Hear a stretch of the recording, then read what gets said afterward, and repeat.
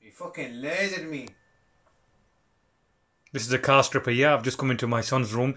He's on his PlayStation playing a game, and he should be Oh, working, doing his schoolwork. He's in the first year A level student. He's had a lazy year because of the coronavirus.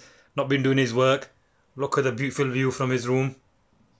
That's a beautiful view from his room there, and he's on the TV. Got aim assist. Look at all his papers are down there. He should be studying, but all his papers, A level studying, he's not doing that. He's on the PlayStation playing PlayStation. Why are you on this PlayStation? Someone you should be studying A levels. Hey, I told you that earlier on. Yeah, you should be playing uh, all the time. You play, play, play. You shouldn't play all the time.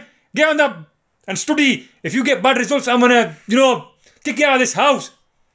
I've told you enough times. Study. This PlayStation's not gonna get anywhere you in life. Okay? Do you understand that? Or don't you understand that? Let me play, man. Why let you play? You play all the time. PlayStation is not important. You know, studying is important. I've told you. Get somewhere in life. Ho ho ho ho! See the excitement, viewers. I mean, if kids, all kids, you probably have kids too, if they concentrate that much on their studies as much as they do on the games these days, right? You know, I'll tell you one thing, right? We'd have some clever kids, right? You know, with really good jobs, you know, but they don't. Not like we used to. We had no computers, we had no mobile phones. It's all technology these days, isn't it? It's all technology. So when are you going to start studying? Hello, I'm talking to you. Um, I'll do it tomorrow, innit? Your tomorrow is always tomorrow, tomorrow, tomorrow, tomorrow. Okay?